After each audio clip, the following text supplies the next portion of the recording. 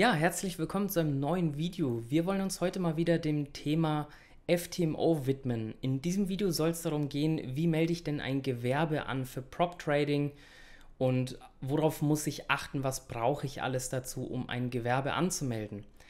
Das ganze Thema ist insgesamt sehr, sehr groß, deshalb werde ich mich auch wirklich nur darauf beschränken. Ich mache künftig noch weitere Videos, wie geht es danach weiter, worauf muss ich achten, wenn ich die Gewerbeanmeldung erledigt habe, was für Themen kommen noch alles auf mich zu und wie sieht es eigentlich aus, wenn ich mal Trader bin. Also wenn dich all die Themen interessieren, dann würde ich dir empfehlen, abonniere den Kanal, klick die Glocke an und dann wirst du auch benachrichtigt, wenn neue Videos zu dem Thema rauskommen. Okay, nachdem das aus dem Weg ist, muss ich noch ganz kurz einen Disclaimer hier anbringen. Ich bin kein Rechtsanwalt, ich bin kein Steuerberater. Deshalb sind all die Informationen, die ich dir hier erzähle, keinerlei Beratung, sondern lediglich meine eigene Recherche und mein eigener Erfahrungsweg, den ich so gemacht habe.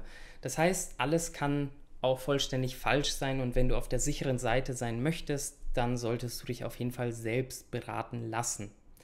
Okay, nachdem auch das aus dem Weg ist, geht's jetzt nach dem Intro los.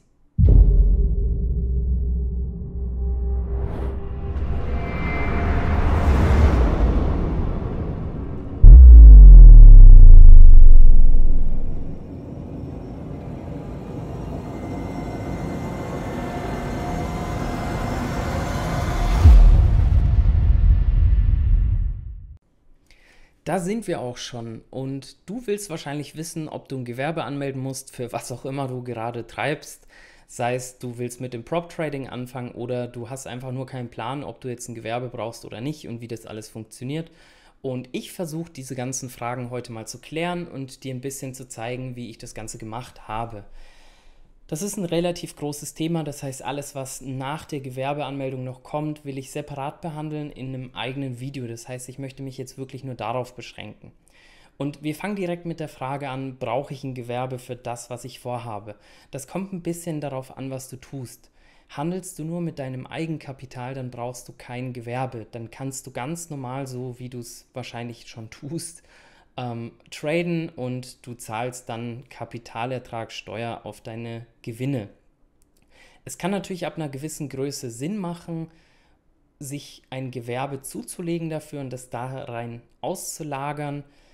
Das ist aber nochmal ein ganz anderes Thema und dann natürlich was für Steueroptimierung, weil Deutschland da ja auch relativ kompliziert ist für private Trader. Wenn du mehr dazu wissen willst, google einfach mal die 20.000 Euro Verlustregelung das kann sehr unangenehm werden und dementsprechend irgendwann auch Sinn machen.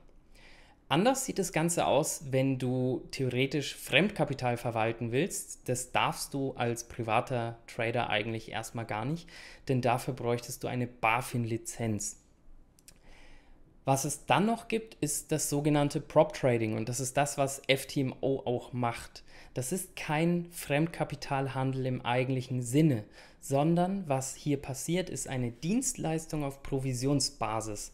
Das heißt, technisch gesehen handelst du für FTMO ein Demokonto, simulierst quasi den Handel und sie können dementsprechend entscheiden, ob sie diese Trades in welcher Weise auch immer übernehmen möchten und auf einem Echtgeldkonto umsetzen.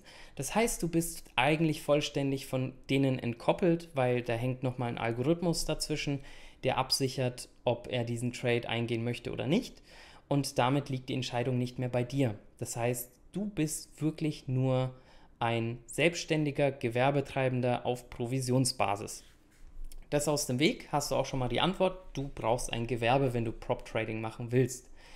Jetzt muss man sich natürlich überlegen, okay, wenn ich ein Gewerbe anmelden möchte, ist die erste Frage, die ich klären muss, welche Rechtsform wähle ich dafür? Und das kann ich dir per se nicht beantworten. Das kommt natürlich ganz auf deine eigenen Umstände an. Es gibt da natürlich unzählige Möglichkeiten wie Einzelunternehmen. Du könntest theoretisch eine GmbH gründen und es darüber laufen lassen. Hat alles seine Vor- und Nachteile. Ich möchte jetzt einfach mal auf den gängigsten Weg eingehen, den ich auch beschritten habe. Und das gängigste dabei ist, dass du einfach ein Einzelunternehmen anmeldest. Das heißt, du bist dein Unternehmen sozusagen. Du hast erstmal keine Angestellten oder sonst was, sondern du bist als Unternehmen dann registriert. Das hat insofern Vorteile, weil es relativ unkompliziert ist. Du brauchst dafür keinen Gesellschaftervertrag oder ähnliches, sondern es ist eigentlich wirklich einfach nur ein Online-Formular und dann bist du relativ schnell selbstständig. Das Ganze hat dann noch so einen kleinen Twist in Deutschland, den du dir auch vorher überlegen solltest. Denn wenn du dich für ein Einzelunternehmen entscheidest, stehst du vor der Wahl, nehme ich die Kleinunternehmerregelung in Anspruch oder nehme ich sie nicht in Anspruch. Das ist ein steuerliches Thema und wenn du sicher sein willst, solltest du dich von deinem Steuerberater diesbezüglich beraten lassen. Ich kann dir mal kurz den Unterschied erklären, wie ich ihn verstehe. Dabei geht es in erster Linie darum, Neueinsteiger im Thema Selbstständigkeit ein bisschen in Anführungszeichen zu unterstützen, indem man ihnen ein paar Regelungen ja abnimmt. Denn als Selbstständiger bist du verpflichtet, gewisse Dinge zu tun, wie Umsatzsteuervoranmeldung und solche Sachen. Ich komme auf diese Themen alle noch zu sprechen im nächsten Video dann, was für Pflichten man hat und sowas. Aber das einfach mal vorab. Das heißt, Kleinunternehmerregelung bedeutet, du sagst quasi, hey, ich habe ein sehr kleines Unternehmen, ich möchte mich von der Umsatzsteuer befreien lassen, von der Gewerbesteuer befreien lassen und habe dafür keine Umsatzsteuer abzuführen. Das geht allerdings nur bis zu einer bestimmten Grenze. Das heißt, du bist hier limitiert in dem, was du an Gewinn erwirtschaften kannst, was du an Umsatz erwirtschaften kannst. Und kommst du über diese Grenzen, rutschst du in das normale Einzelunternehmen. Jetzt denkt man sich erstmal, ja, ist doch eigentlich ganz cool ähm, muss ich keine Umsatzsteuer zahlen, mache ich. Hat aber auch Nachteile, weil du eigentlich als Unternehmer die Umsatzsteuer und die gezahlte Umsatzsteuer bzw. eben Vorsteuer miteinander verrechnen kannst in bestimmten Fällen. Das klär, wie gesagt, wieder mit deinem Steuerberater bitte. Aber das möchte ich an der Stelle einfach nur gesagt haben. Das heißt, dir kann sogar ein Nachteil dadurch entstehen, dass du diese Regelung in Anspruch nimmst. Und zwar aus folgendem Grund. FTMO sitzt nicht innerhalb Deutschlands, sondern hat seinen Hauptsitz in der Tschechischen Republik, das heißt innerhalb Europas. Und da gibt es umsatzsteuertechnisch eine Möglichkeit, ein sogenanntes Reverse Charge Verfahren anzuwenden, mit dem du von der Umsatzsteuer befreit bist und quasi diese Umsatzsteuerpflicht an FTMO überträgst, dass die das bei sich abführen. Hat für dich dann den netten Vorteil, dass du dich um dieses Thema nicht kümmern musst. Das heißt, du zahlst effektiv keine Umsatzsteuer an den Staat erstmal und hast damit eigentlich den Vorteil von der Kleinunternehmerregelung ebenfalls, kannst aber auch gleich die umsatzsteuerlichen Vorteile von der Verrechnung für dich nutzen und bist nicht limitiert in dem, was du an Gewinnen erwirtschaftest oder an Umsätzen einnimmst. Das Ganze zum steuerlichen Thema, wie gesagt, da am besten einen Steuerberater konsultieren. Ich für mich habe mich aus den hier genannten Gründen dafür entschieden, ein Einzelunternehmen zu gründen und auf die Kleinunternehmerregelung explizit zu verzichten. Okay, jetzt wisst ihr, was für ein Unternehmen ich angemeldet habe und jetzt möchte ich mal dazu kommen, was brauche ich denn alles dafür und wie mache ich das? Also, wie mache ich das? Ist relativ simpel. Du suchst dir deine Stadt aus und guckst mal, ob es vielleicht ein Online-Formular gibt. Generell geht es immer beim Gewerbeamt und Gewerbeamt ist sehr häufig eben Städtesache oder Landkreis, wo auch immer, wer auch immer für dich zuständig ist. Das kann ich dir leider nicht sagen.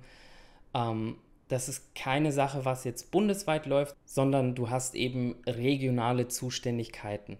Das heißt, such dir mal wahrscheinlich da, wo du deinen Ausweis auch machen lässt, irgendwo da in der Gemeinde oder was auch immer. Guckst mal, ob die ein Online-Formular haben, um ein Gewerbe anzumelden. Ansonsten such dir das Gewerbeamt in deiner Nähe. Die können dich da auch beraten. Das ist alles auch wirklich nicht so wild, wie man sich das vorstellt.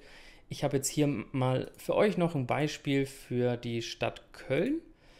Wir gehen das Ganze mal durch. Da gibt es dann so eine E-Meldung, wenn du einfach mal eingibst, ähm, dass du ein Einzelunternehmen anmelden möchtest, kommst du auf die Möglichkeit, eines zu erstellen. Das heißt, du gibst hier einfach ein, wählst deine Rechtsform aus, in meinem Fall das Einzelunternehmen.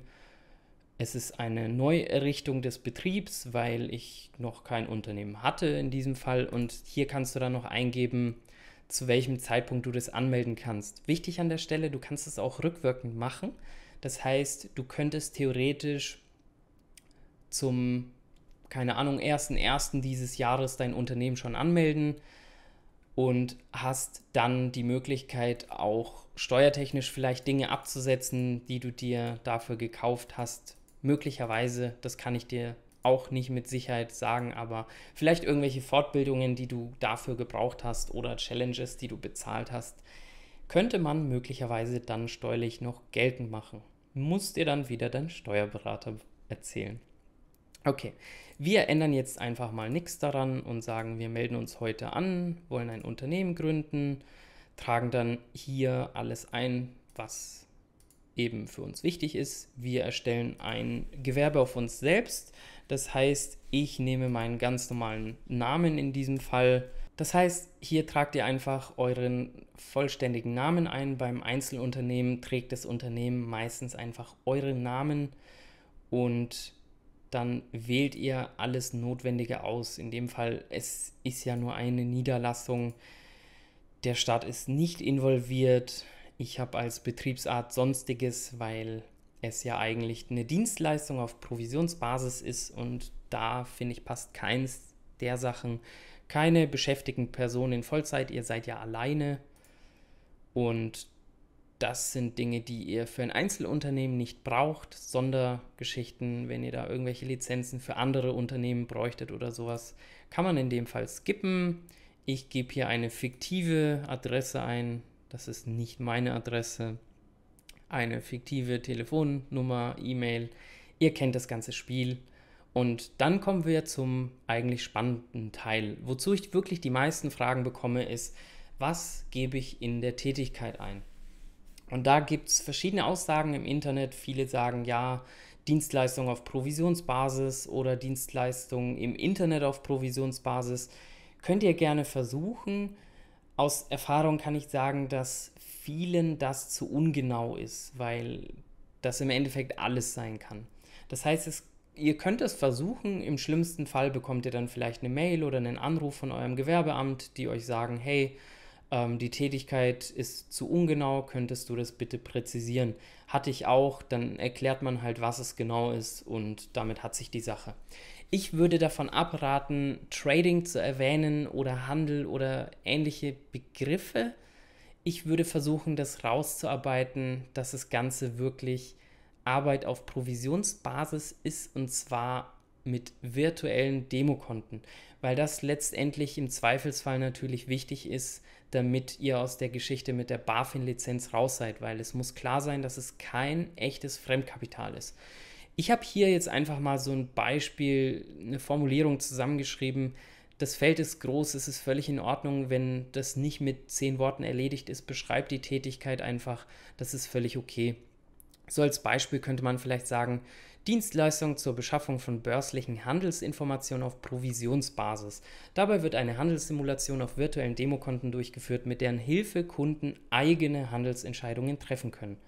Das ist nur ein Beispiel, ich weiß nicht, ob das so durchgeht oder nicht, aber wie gesagt, es kann dabei nicht viel passieren. Im Zweifelsfall könnt ihr auch einfach bei eurem Gewerbeamt anrufen, denen versuchen, das zu erklären und dann helfen die euch bestimmt, was da rein muss. Wie gesagt, an der Stelle einfach nochmal der Hinweis, ich persönlich würde dazu raten, das Thema Provisionsbasis, Provisionsarbeit und Dienstleistung deutlich zu machen, weil das natürlich ein, eine große Auswirkung auf alles hat. Wenn ihr weitere Tätigkeiten habt, seid ihr auch gut beraten, wenn ihr die gleich mit aufnehmt. Also keine Ahnung, vielleicht habt ihr noch ein anderes Business, das ihr da mit hochziehen wollt oder ihr verkauft irgendwie Merchandise, macht Dropshipping, seid Instagram-Influencer und wollt das alles damit abhandeln, dann könnt ihr noch eine weitere Tätigkeit dazu packen. Das hat dann nämlich noch einen weiteren Vorteil. Ihr seid aus dem Thema Scheinselbstständigkeit raus. Scheinselbstständigkeit ist auch noch so eine Frage mit äh, Gewerbeanmeldung. Gibt es ja immer wieder Gerüchte, ja, was ist damit? Ist das nicht irgendwie blöd? Das hier sind eigentlich die Merkmale, wie man Scheinselbstständigkeit definiert. Und zwar unmittelbare Weisungsbefugnis des Auftraggebers gibt es nicht, feste Arbeitszeiten gibt es nicht, Reportingpflichten gibt es nicht, Feste Integration in Prozesse und sonstige Infrastruktur des Auftraggebers gibt es ebenfalls nicht. Ihr arbeitet ja nicht im Büro von FTMO, sondern nutzt euren eigenen Space dafür mit euren eigenen Prozessen. Feste Bezüge habt ihr ebenfalls nicht, weil ihr Provisionsbasis bezahlt werdet und Urlaubsanspruch schon gleich gar nicht. Das heißt, eigentlich kann euch niemand was, ihr seid nicht scheinselbstständig.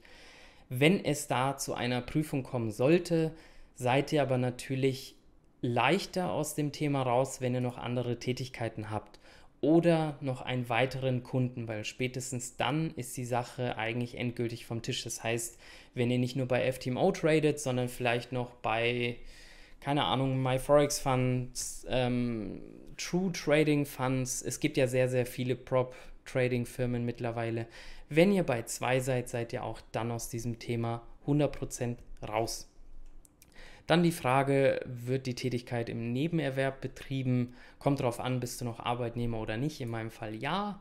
Klicke hier auf Weiter, kann dann hier noch meine persönlichen Angaben machen als Inhaber und dann kommt der Abschluss des Ganzen. Das ist dann eigentlich auch schon die Gewerbeanmeldung. Also es ist in 15, 20 Minuten erledigt und ihr seid damit durch. Jetzt ist noch die Frage, was brauche ich denn noch für die Gewerbeanmeldung? Und da würde ich euch dringend raten, dass ihr euch auch gleich ein Unternehmenskonto erstellt, weil ihr natürlich alles, was für euer Gewerbe passiert, strikt trennen solltet. Ihr müsst das Ganze ja letztendlich am Ende des Jahres abrechnen und weder ihr noch euer Steuerberater wird Bock haben, das alles von eurem privaten Konto zu trennen.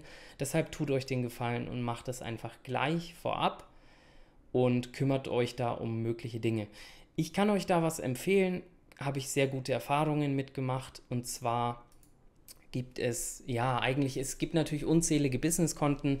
Zwei, die besonders cool sind, sind zum einen Contest und zum anderen Penta. Ich persönlich nutze Contest, ein Bekannter benutzt Penta, ist eigentlich relativ gleich was macht das Ganze cool? Ist zum einen natürlich einfach ein Geschäftskonto mit den typischen Online-Funktionen, wie man es halt kennt, hat aber auch noch den schönen Nebeneffekt, dass das Ganze deine Ausgaben kategorisieren kann.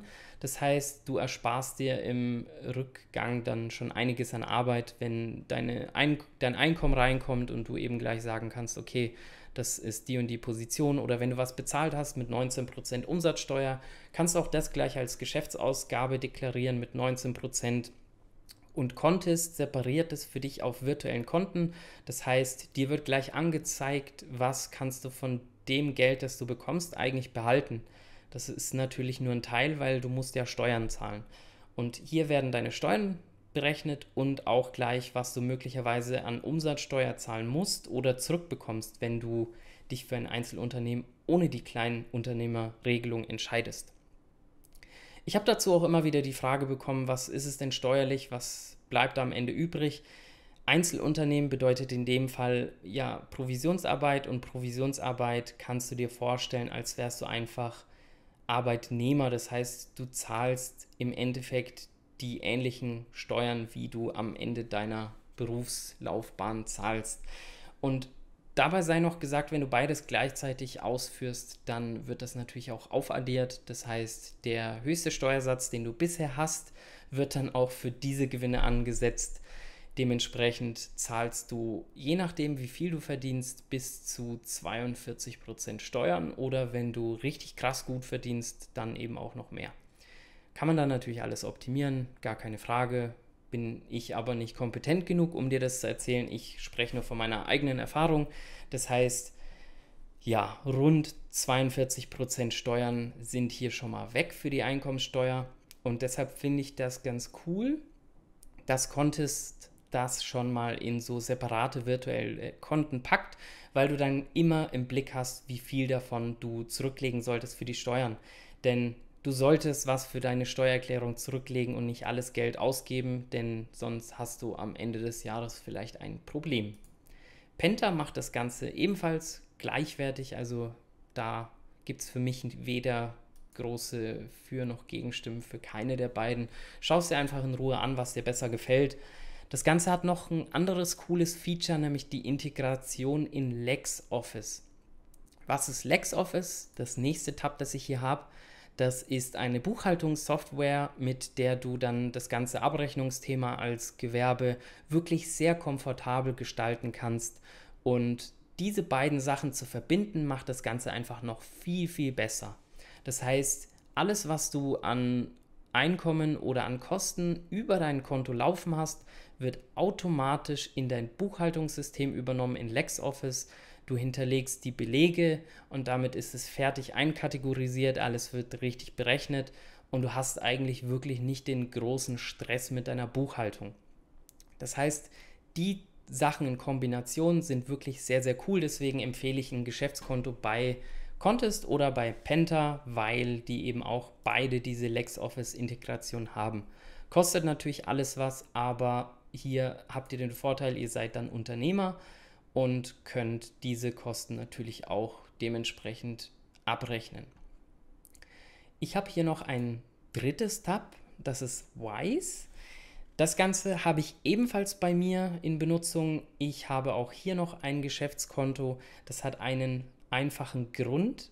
Bei Wise hast du die Möglichkeit, Geschäftskonten in verschiedenen Währungen anzulegen.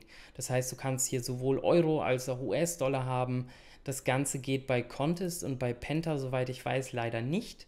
Das heißt, wenn du irgendwie mit US-Dollar zu tun hast, dann brauchst du da nochmal irgendwie eine Transferschicht. Und dafür benutze ich Wise. Das heißt, ich lasse mir meine US-Dollar-Konten auf Wise ausbezahlen transformiere das Ganze in Euro und schiebe es dann zu Contest rüber.